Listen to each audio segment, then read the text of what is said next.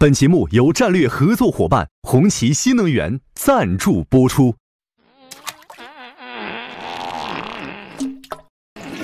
来也匆匆，去也匆匆，然而你一回头，竟然没冲干净。你一遍又一遍的冲水，竟然完全没用。你崩溃的发问：怎么会这样？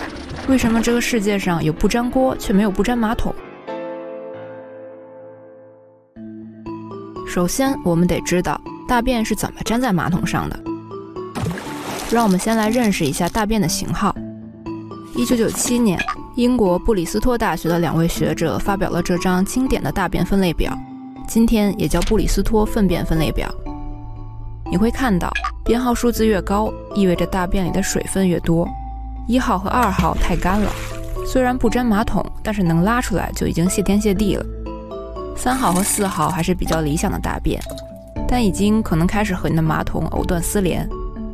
而从五号开始，大便会分散成很多粘稠的小块，到六号就已经成了一滩屎混杂着零星硬块，它们都非常容易粘在马桶上。七号倒是不粘，因为这时候的大便已经接近纯液体了。评价大便到底容不容易粘的指标是粘度 （viscosity），单位是帕斯卡秒。它反映的是流体在运动时产生的阻力。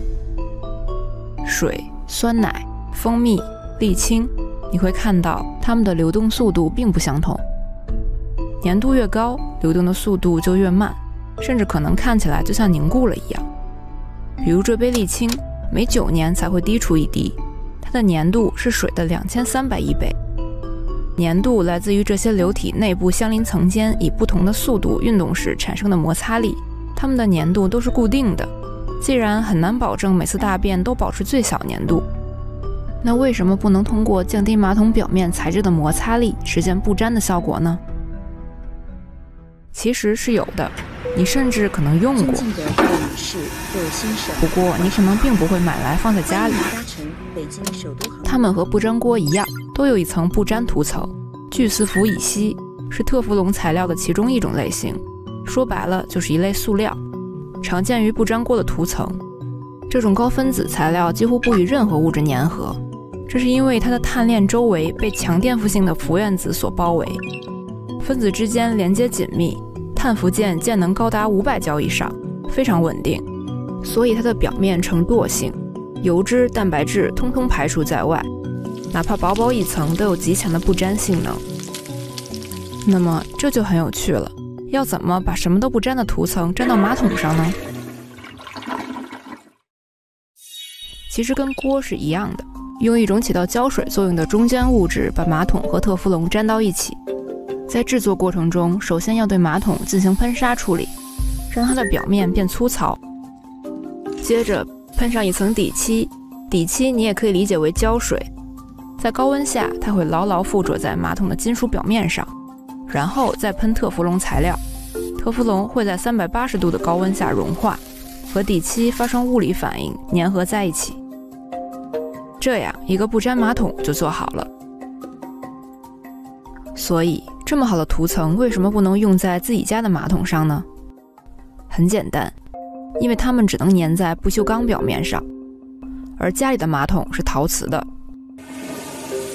没人想在家里摆一个又贵又丑、看起来像公共厕所的不锈钢马桶，更何况还会冻屁股。陶瓷材质不仅好看，也比不锈钢光滑得多。而不粘涂层本身硬度较低，耐磨性差，易开裂，经常泡在水里还会加剧涂层老化，所以在陶瓷上根本贴不牢。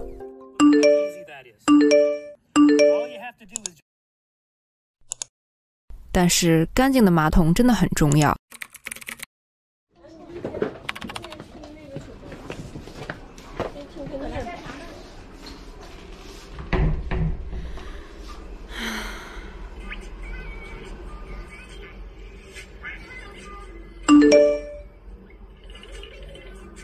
它是我们生活里最后一处独处空间，也可能是他情绪爆发的最后一道防线。那还有什么办法让大便不粘马桶吗？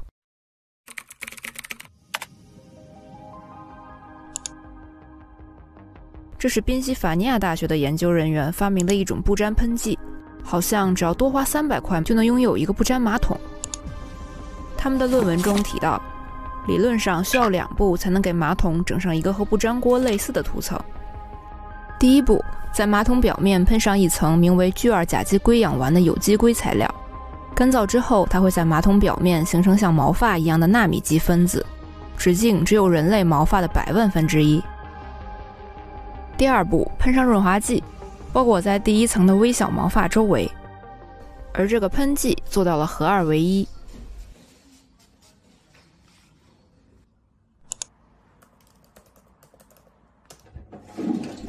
至于效果呢，也还可以。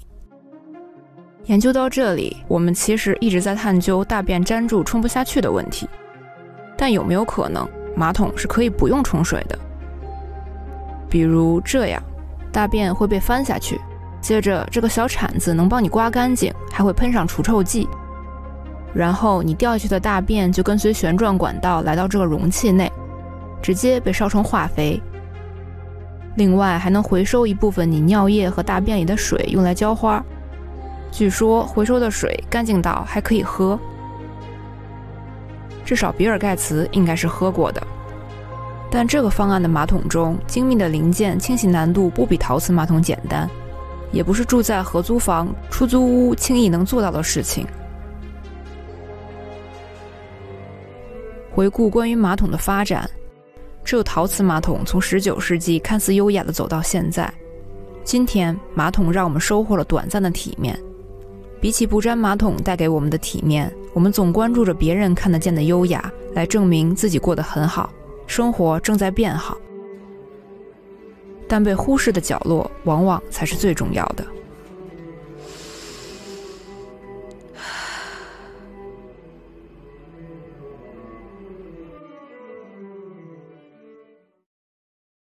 我们能估算二零八零年上升的海平面，我们能发射硫化颗粒让气温降低一点，我们能期待一具外星开发无尽资源，可是最重要的问题还没解。